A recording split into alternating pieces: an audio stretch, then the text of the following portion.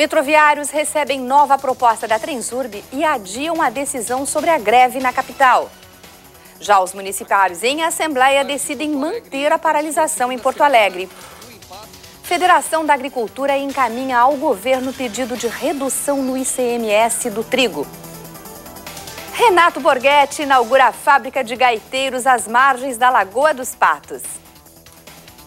Este é o Jornal da TVE que já está no ar.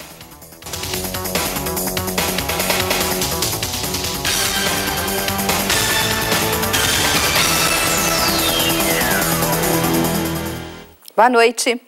Os metroviários da capital adiaram a decisão sobre uma possível greve. A assembleia da categoria, que estava marcada para hoje, foi transferida para o final da semana, depois que a Transurb apresentou uma nova proposta. A mudança de data da reunião teve apoio da maioria dos presentes. A nova proposta da empresa oferece duas opções. A primeira é a adoção da cesta básica de 190 reais, reivindicada pela categoria, mas sem a implantação do novo plano de carreira.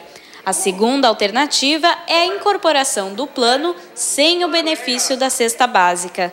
Na sexta-feira, os metroviários vão analisar a oferta da empresa.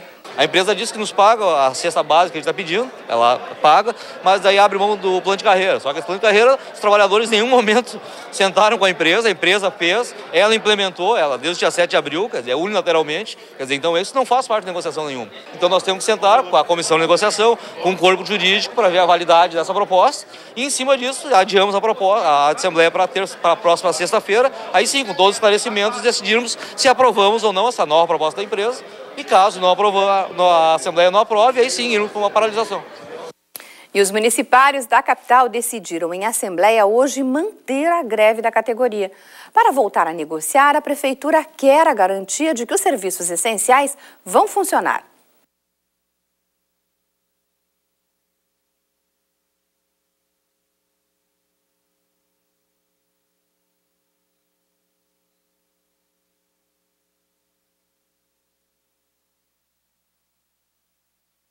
Um problema de áudio, mas em seguida mostraremos esta matéria.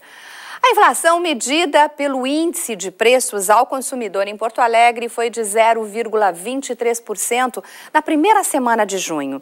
Foi a menor taxa registrada pela Fundação Getúlio Vargas entre as capitais brasileiras. Conforme a FG, houve desaceleração em sete das oito classes de despesa, sendo que os alimentos foram os maiores responsáveis pela queda no indicador.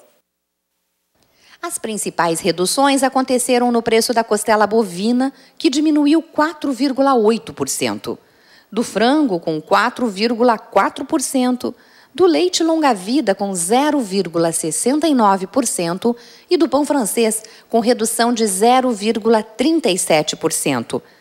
Na contramão, o preço do tomate continua subindo, com alta de 7,9%. Também houve aumento do feijão e da erva mate por conta da baixa oferta do produto. A Câmara Setorial do Trigo apresentou ao governo do estado proposta de redução do ICMS do grão. Os detalhes você confere no próximo bloco.